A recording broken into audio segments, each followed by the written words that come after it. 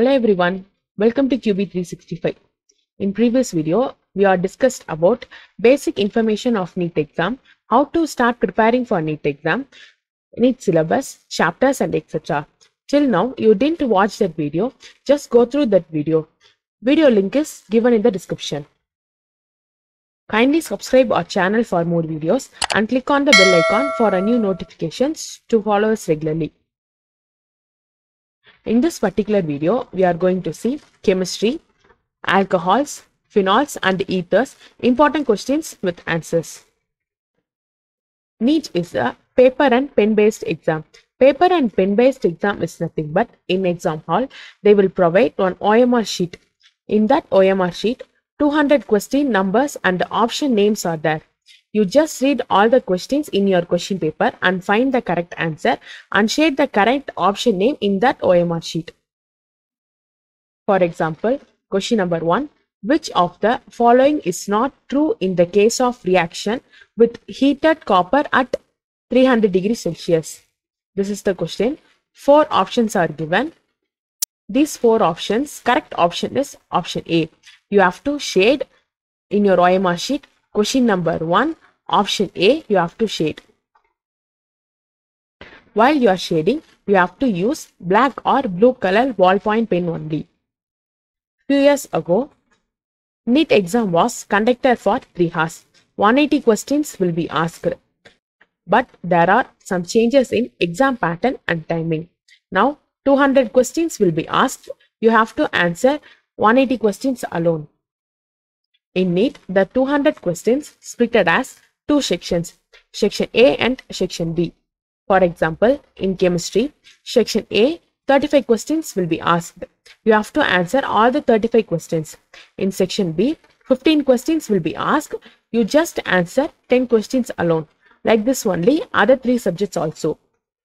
Physics, Zoology and Botany. Each subject, two sections are there. And each correct answer, you will get 4 marks. 180 questions totally. So, exam will be conducted 720 marks. But the important thing is, in NEET exam, you have an active marks also. Each wrong answer, your 1 marks will be reduced. In this particular question paper, we are providing 50 multiple choice questions with answers. We just bold all the answers and give the detailed solution for this question. You can go through all the answers. It is all understandable only. While you are preparing for NEET, you should study like this only. You have to work out each question and find the answer. According to NEET, each question is different concept. So understand the concept very clearly. If you understand the concept very clearly, you can attempt all the questions correctly. According to NEET exam, time management is very important. If you already written NEET exam once or twice, you have a one idea about the question type and how to answer 180 questions in 200 minutes and all. But is this your very first attempt? This information for you only. We Online Test India providing for NEET preparing students, NEET all chapters, chapter based test, subject based test, mock test and free trial test.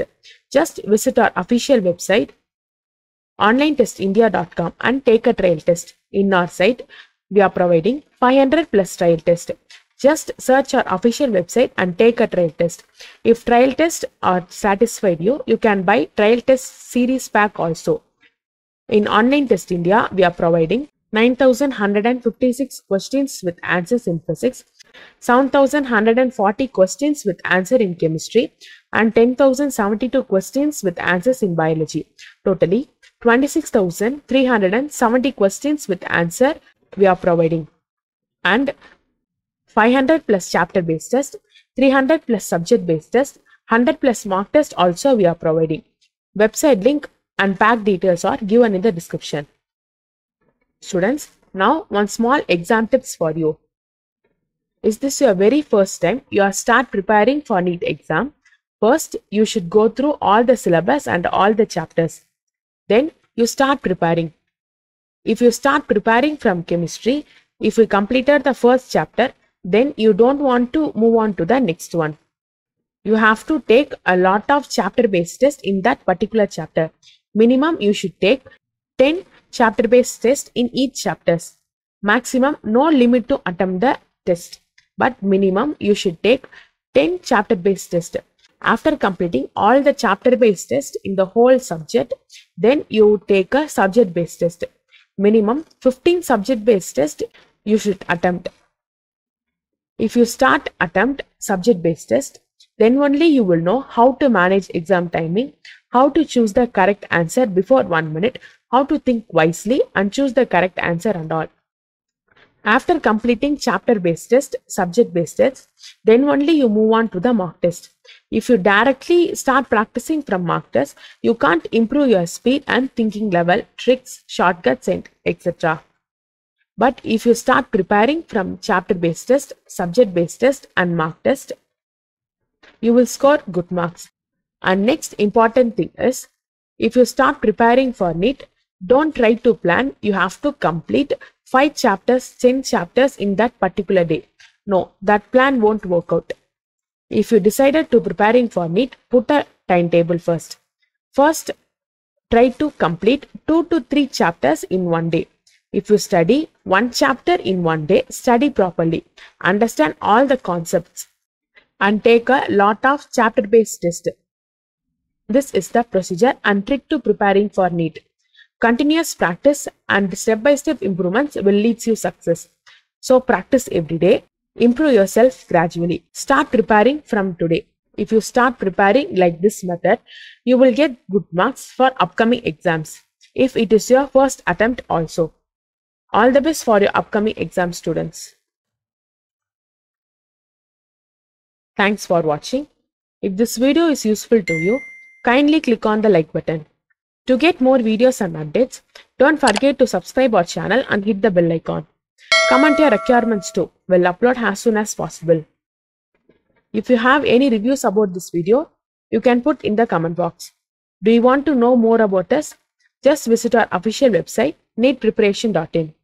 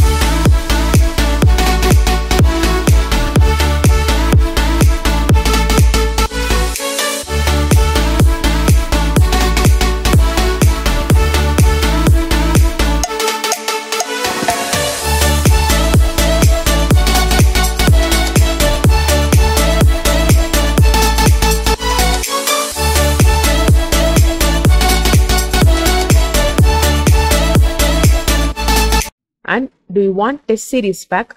Just visit our official website onlinetestindia.com.